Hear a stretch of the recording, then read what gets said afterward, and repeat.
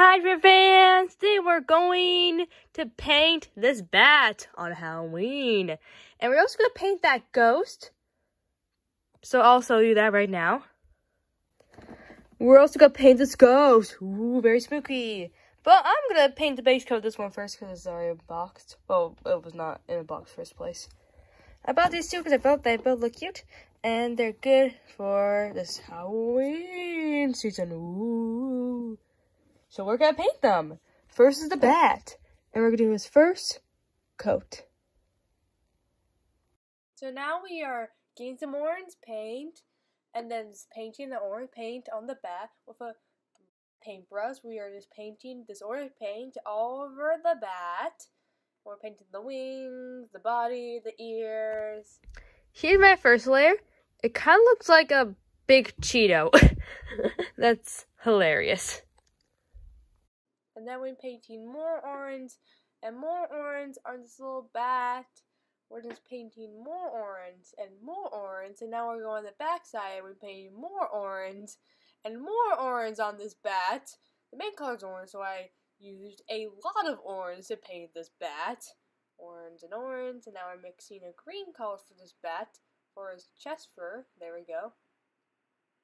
And there we go. There's the green chest fur and the orange color with it. Looks pretty good together. And now we're painting the little purple teeth and nose and ears. And inside the wings, inside the bat wings. And then we're painting the feet. And then we're, there we go, there we're done. It needs a little tuss-ups, but it looks pretty good. And what's next? Okay, we're doing tons of tuss-ups now on the purple, and now we're painting the little eyebrows and the green eye.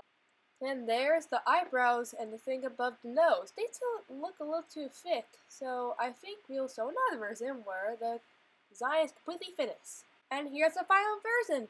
And hey, the eyebrows and the thing above the nose is fixed. Look at the final version. It looks very nice. I like it. So here's my little ghost. And yeah, you can see a little bit of the bat. My little ghost is gonna be opened up with me ripping. Probably just move this iPad. Um, how in the world did I open this? Uh, do I rip the whole thing? Or do I cut into it? Oh, no, sir. I'm gonna rip it. Ah. I'll probably move it right here. Okay. Okay, there's tape. Let me get some scissors. Here are some scissors. Hmm, okay, cutting the cardboard. And there. Now we can lift this up and get everything else. Oh. Oh no. Can I pay a knife on that? Okay.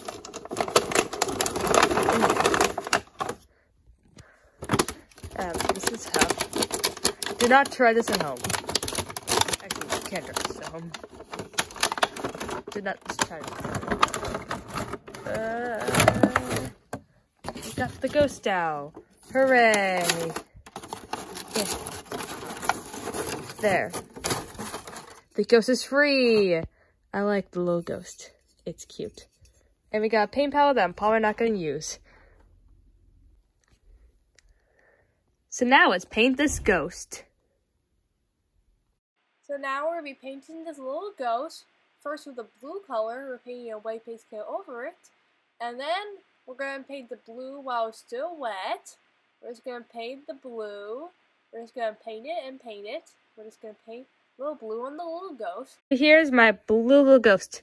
I think it turned out like a pretty cool base coat. Looks very nice. It's supposed to look kind of messy. I like that style. so that I wanted. And then we're going to paint the little purple little hat on this little ghost. And then we're going to mix some green to paint the little strap on the ghost. And there's the green strap.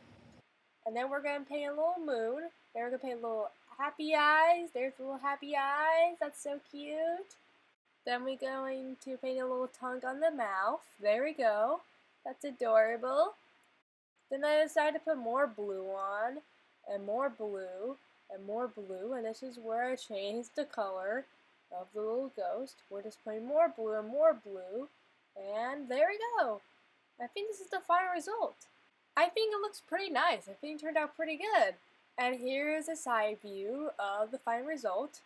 Pretty nice, pretty good. And here's the back view of the final result. That's a pretty good, pretty good. And here's another side view of the final result. I think I did a pretty good job. Oh, you see like a little blue spot on the hat. That's cute.